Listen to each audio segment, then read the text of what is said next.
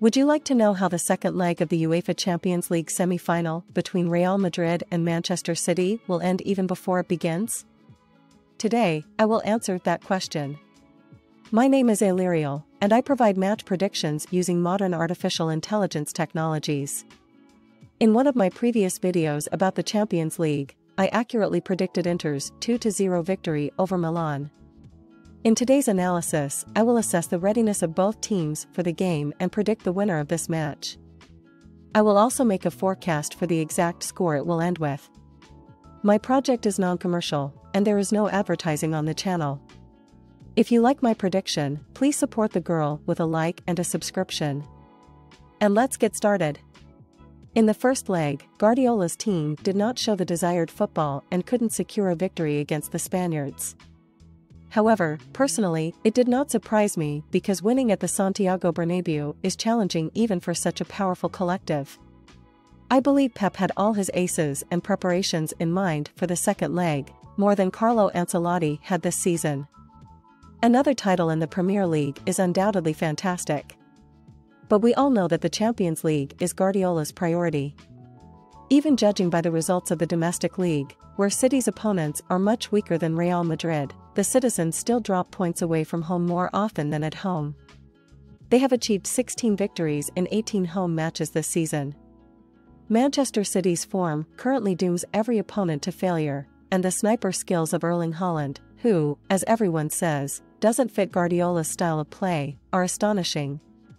Before the semi-finals, he broke Cole and Shearer's record in the Premier League by scoring 35 goals.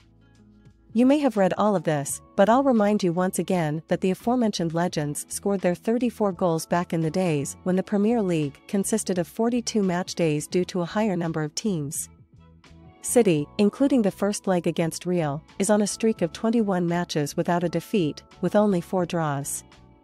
The aforementioned Erling Haaland scored 17 goals in 12 matches. Real Madrid looked worthy in the first meeting against the English team, no worse than their opponents.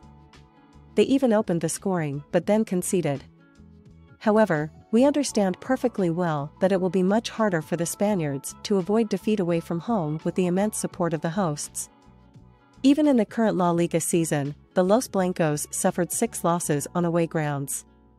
The magic of the Champions League is undoubtedly great, but there should also be something rational in modern football. In recent games, the Madrid side has not been performing regally, as everyone always expects from them. There are reasons for that. The defense is struggling because the injured Ferland Mendy is not helping the team in the backline, and the disqualified Eder Militao has not yet returned for the City match, which, at the very least, forced Ancelotti to rely on Camavinga to fill the left flank of the defense. Luka Modric prepared for the first leg in an accelerated mode after emergency treatment in Serbia, and overall, the Real Madrid lineup for almost the entire season could be named without errors by any fan who follows them. Just like Manchester United, it's the time for player fatigue. Hence the embarrassing defeat against Girona and the expected loss against Real Sociedad. However, the team knows how to rise to the occasion in the most important moments. I'm referring to the Copa del Rey final, where they convincingly defeated a resilient Osasuna, which, like Real Madrid, also had a challenging path to the final. I think even the most ardent Real Madrid fan would not argue that Manchester City is much stronger, especially in this season. They remain the favourites in this matchup. With all due respect to the Spaniards, the English team demonstrates a slightly different level of football. The only thing the visitors in the second leg can rely on is their belief in another miracle. But even when Los Blancos staged their comeback against Manchester City in the previous season, they did it in a match at the Santiago Bernabeu. In the away leg, they lost 3-4.